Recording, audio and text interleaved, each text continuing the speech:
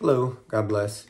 Um, so I'm going to talk about a dream that I had on uh, January 14th, 2024. Okay.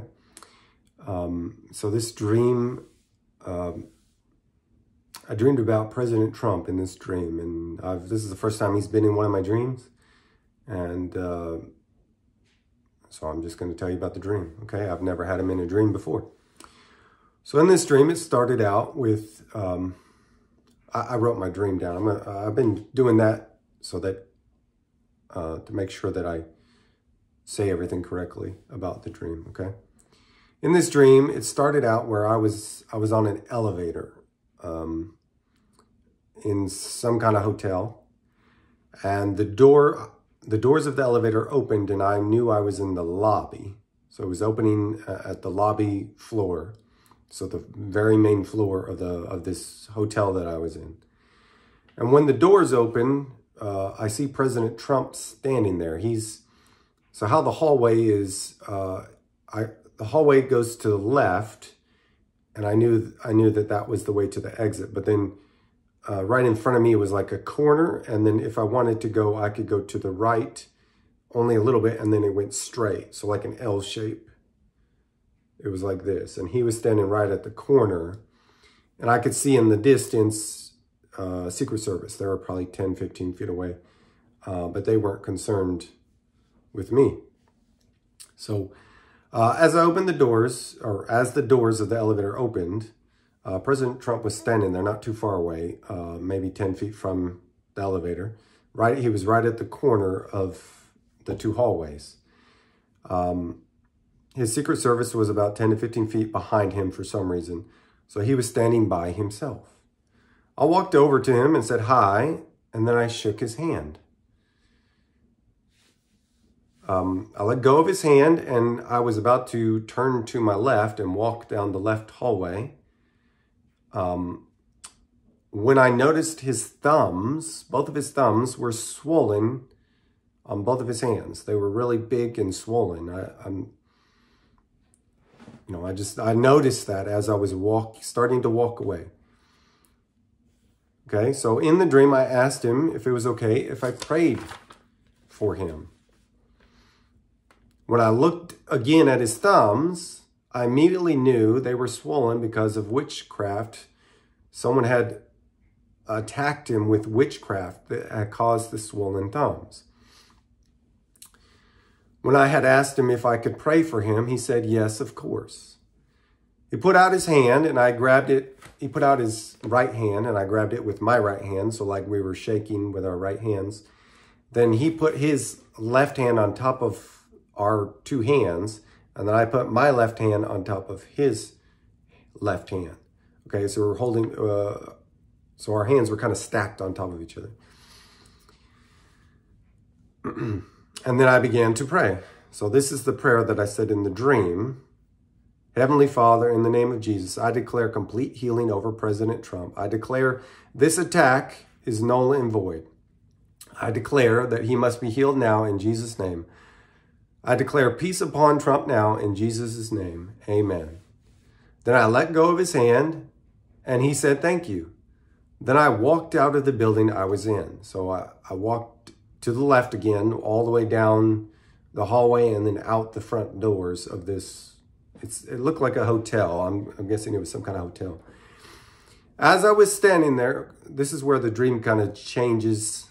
This was all one dream, so I'm going to continue with what, with what was happening in the dream, okay?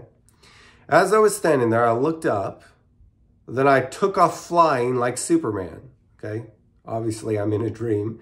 I've never dreamed where I'm flying like Superman before, so that was weird.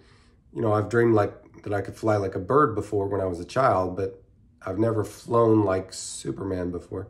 So I took off flying like Superman and I was flying along a road, like a curvy road. I'm like, I don't know, 30 to 50 feet up in the air and I'm looking down at the road and looking ahead of me as I'm going. I'm not going really fast, you know, probably the speed of a car but I'm flying over this road, okay? As I'm flying, I look ahead and there's a, a, a T section of the road. So I'm going along the straight road and then there's a T section that's coming uh, perpendicular to the road that I'm flying over. And, you know, and it has a stop sign. And so it's, you're supposed to stop and then you would, you're forced to either turn left or right because if you continue straight, it went down into a ditch and then down into like a, like a park, a grassy area. And there's a bunch of bushes and trees to the left uh, from my point of view. Okay. And I'm coming closer to this uh, T section of the road. And um, on, like I said, on the on the left side of the T, uh, from my perspective, is just bushes and trees and uh, uh like a big grassy area. Uh, and I look to the right and I see a red Porsche Cayman. That's uh, that's the smaller Porsche car. The Porsche Cayman. It's the two-door hardtop uh, version of their car. And I knew this, I could, looking at it, I could see it was an older model, like one of the first, I'm not sure when they first came out with that particular model, but this is one of their first iterations. So it was an older version of that car and it was red. And I'm looking at this red Porsche Cayman and I could tell uh, it was an older car and I could see a woman sitting in the car. It looked like she was sleeping, although the car was moving. The car was heading right for that T section of the road where that stop sign was. And so she was coming from the perpendicular road. So she would have had to have stopped at the stop sign. Uh, it went right through, but her that car, it went right through the stop sign and down the hill. So it went over the median, over the uh, the curb and then went down the, the bankment and down into the grassy area and then just kept going. And so it went right through the stop sign and down the hill until it crashed into a bush. I was still flying, so I flew right over to the car. I looked around and no one else was there. I looked around, no one else. There was no cars. There was no other cars. There was no other people. I get to the door and I open it. The woman is asleep and she's buckled into the car. For some reason, after I had opened the door, there's this thick plastic sheet that is blocking, uh, it's like a barrier. It's blocking me from getting to this woman to save her. All right, she's unconscious or asleep, um, so she's just out of it. And there's this plastic barrier that, that is keeping me from getting to her, okay? I pull a pocket knife out of my pocket, out of my back pocket. I look at this knife. It was an antique looking single blade folding knife that was well taken care of. I could see it was well taken care of. And that I could, uh, I could tell that it was sharp. The blade was maybe three inches. It was a small knife. I started to cut into the plastic barrier to get the woman out. Suddenly, an SUV pulled up on the other side of the car. And a man opened the passenger door of the red Porsche car and called to the woman to wake up and to get out on his side. While I was still cutting the plastic barrier, the woman woke up and climbed out the passenger side and got into the man's SUV and they drove off. I'm just standing there for a minute holding that knife with the, the plastic barrier half cut and you know, they're gone now. And then right after that, I woke up. So that was the whole dream. I know it started out sounding normal and then it kind of went in a different direction, but that I, I wanted to give you the dream exactly what it, how it was. Um, do I, I don't fully understand what the, what the, um, what the point of the last part of the dream was, but I knew the first part was Trump was under attack, witchcraft attack.